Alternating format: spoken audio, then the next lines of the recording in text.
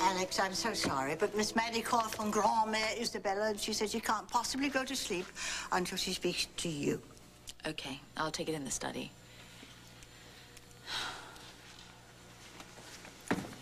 Oh, Maddie is quite willful, but adorable. Rather like our Alexandra, no?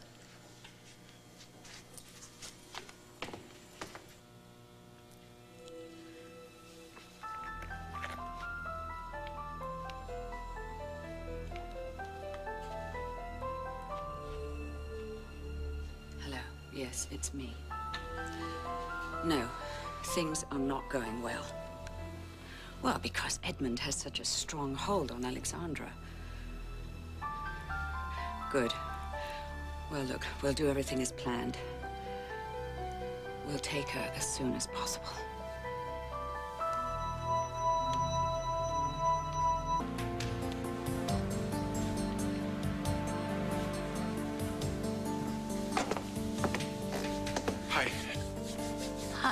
You're back. Yeah, it was a false alarm.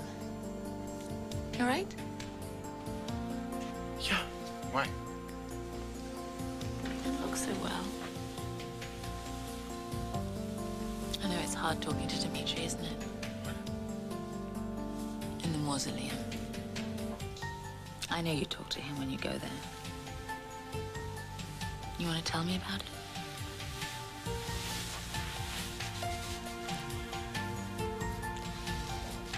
You know I love you very much, Edmund.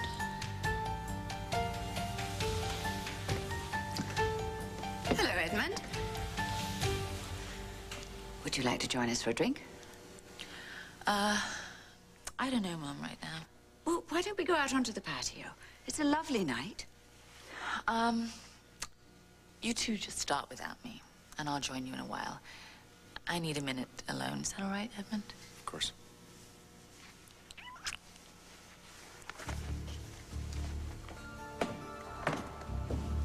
Did I interrupt something important? No.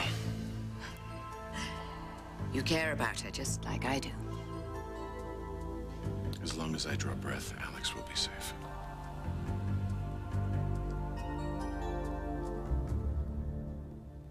I know you had some mother and daughter plans, but now's not a really good time for us to be apart.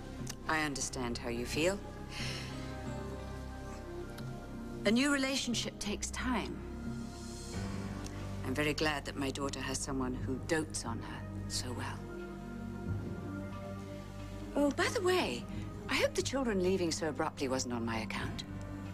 Excuse me? Well, Sam and Maddie left so quickly to go to Isabella's house. Oh, well, they frequently spend time at their grandmother's. Oh, I was hoping that you weren't keeping away from the mad, eccentric Englishwoman. They'll grow to love you, Charlotte. Just like I have. Yes.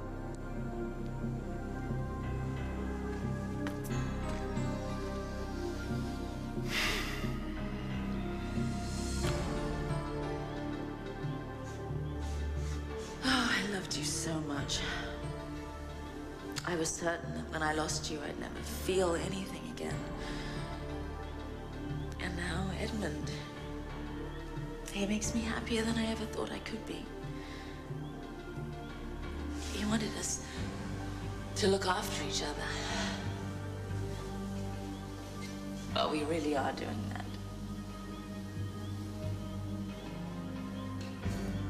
He was your final gift to me. Your most unselfish. Thank you for showing me what love is. Thank you for giving me Edmund.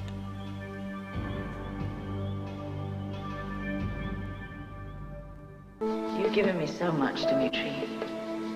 Your love, and now a future with Edmund. My mother doesn't think I ever got over you, and that my feelings for Edmund aren't real. Well, she's right about one thing. I'll always love you. You'll always be part of who I've become.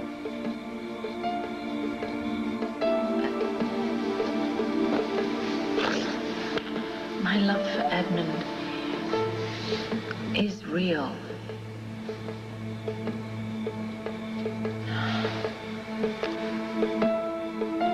I feel so close to you.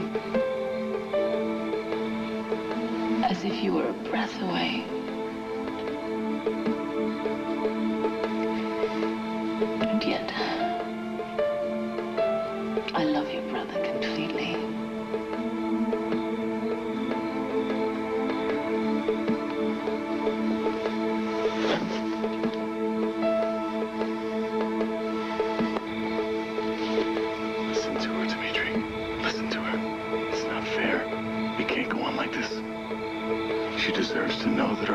Alive.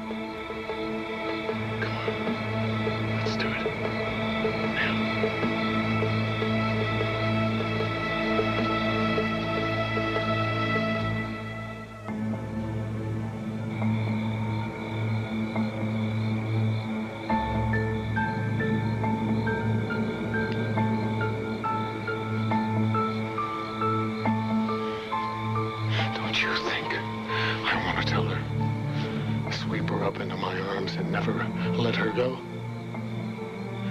Everything has changed, Edmund. Dimitri, there's no reason for you not to tell her. Come on, we can make this work. It's too dangerous. We can tell her you're alive and still keep her safe. And what about the shock of learning that her husband is back from the grave? You heard her just now. Let her live the life she's chosen. Dimitri, you gotta tell her. And when, where, where, where does it stop, Edmund? Do I tell her I was kidnapped by her mother, that the woman she calls Mum is ready to sacrifice her at any moment? For her safety and yours. She can't know. So what are you saying? We tell her, she tells Charlotte, then we're all in danger. As long as Charlotte is a threat, I don't exist. Where's Charlotte now? House. Edmund, you promised me again. Do not let Alex alone with Charlotte for a second. Is that you, Edmund? Promise me.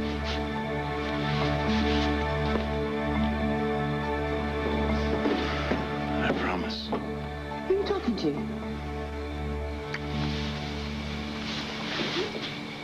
Myself.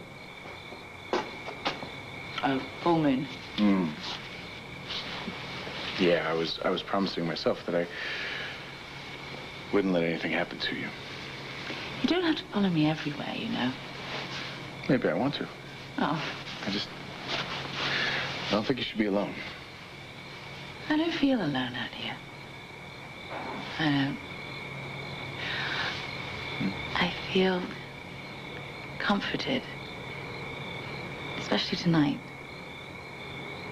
Hmm. Did you know I'd be here? Uh, we were talking about Dimitri, and uh, it seemed like a natural choice. You miss him so much, don't you? Let's get you back to the house where it's safe. I feel safe with you.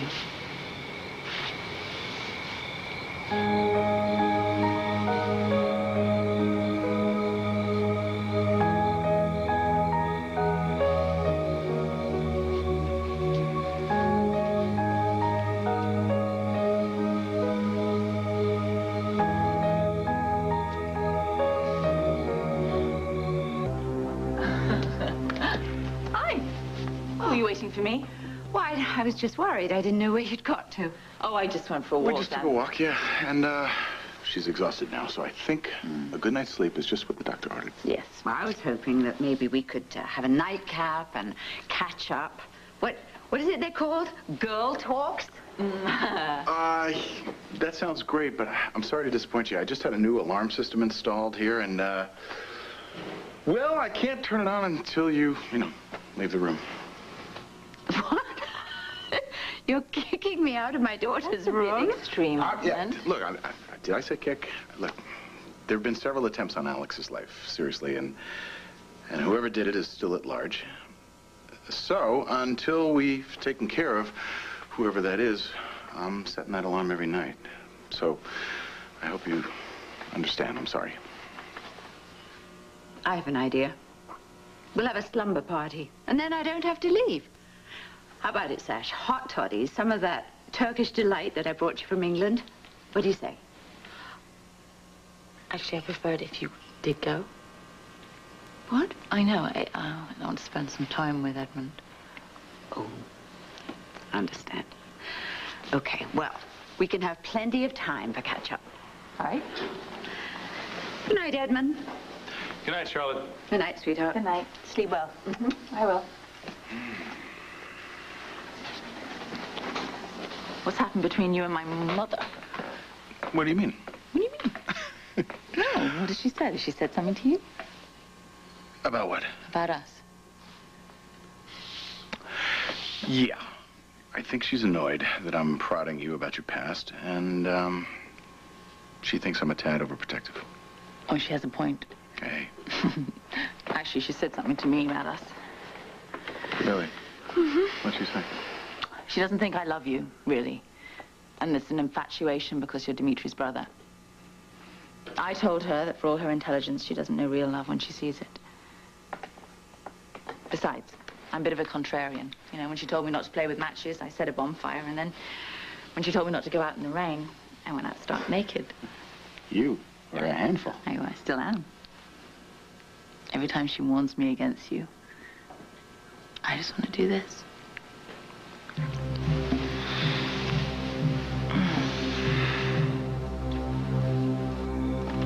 need to see you now. No, that, we don't have time for that. We have to act immediately or we'll risk losing everything. And I don't want that to happen. Clever man,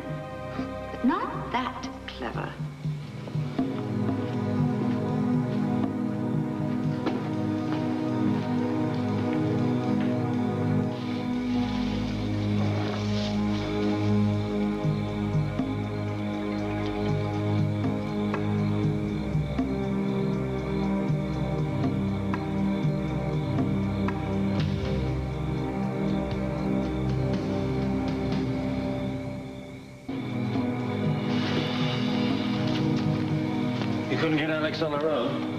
That fellow of hers glued to her side.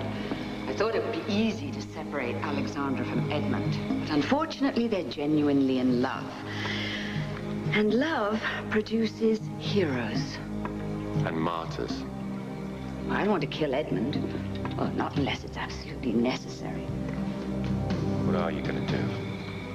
I'll get what I want. Lovers who are awash in emotion are easy to manipulate.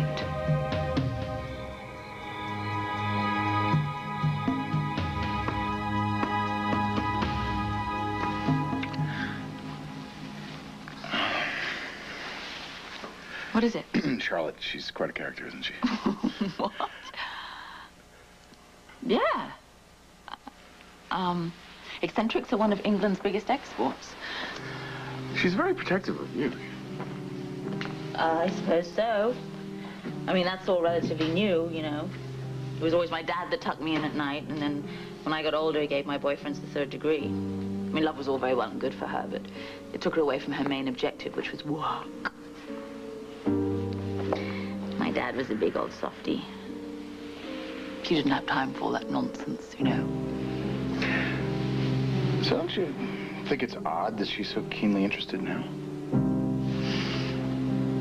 Yeah, I admit, it's a bit of a surprise.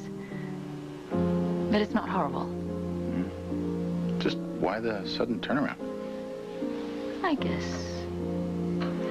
As she's grown older, she, she's learned what we've known all along.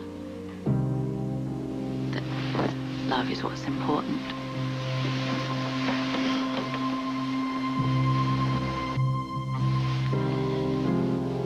Alexandra always was a difficult creature. Oh, this is a mess. Do you have anything else for me? You were right about Adrian's sword. I knew the name was familiar. What have you got? Dossier's being compiled. What will you do with it? First of all, I want to find out how Mr. Sword is linked to Alexandra and Edmund. Then I'll decide.